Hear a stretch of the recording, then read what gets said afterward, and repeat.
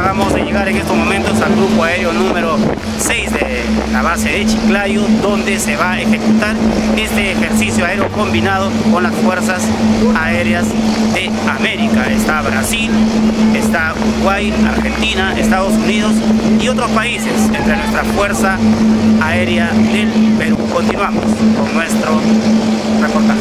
En la zona de caída hay un helicóptero Mi-17 con un sistema que se llama el ERTE. El ERTE es un sistema de extracción, de transporte de personal, que también nos sirve para evacuar heridos en una situación de emergencia. Entonces el personal que va a lanzarse acompañando la carga, después de que lleguen a tierra, se van a reunir y van a ser extraídos por el helicóptero Mi-17 con este sistema.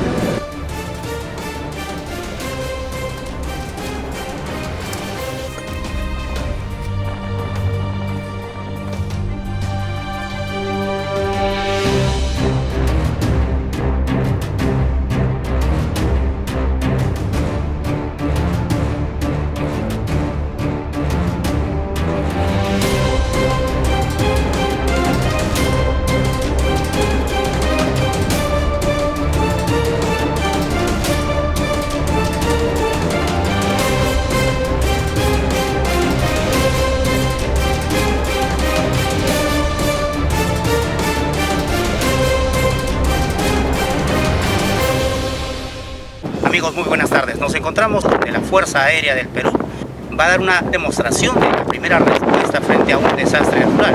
Cabe precisar que en este ejercicio aéreo están participando las fuerzas combinadas Argentina, está también Brasil y está el Uruguay. Vamos a conversar en exclusiva con el coronel.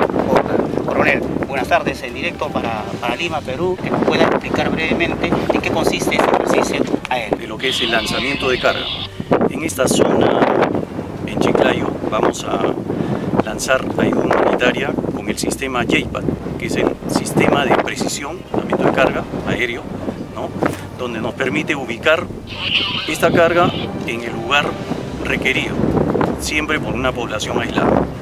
Dentro de esta, este ejercicio aéreo eh, hay países que están acompañando a nuestra.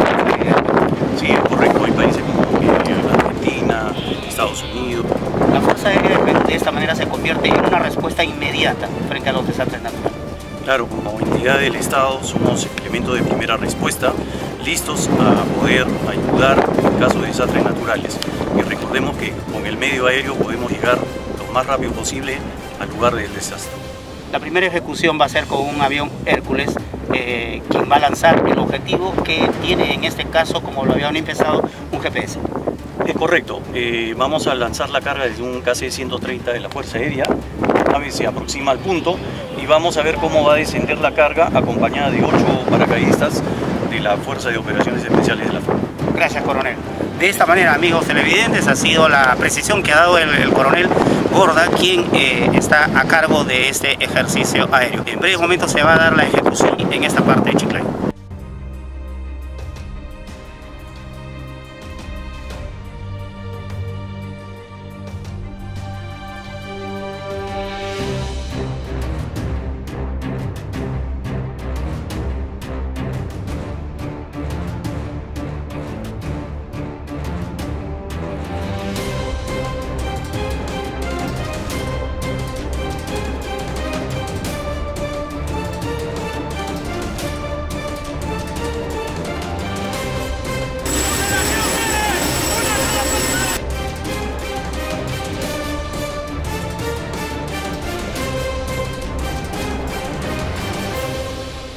Amigos, es el momento que comienza el ejercicio aéreo aquí en Chiclayo.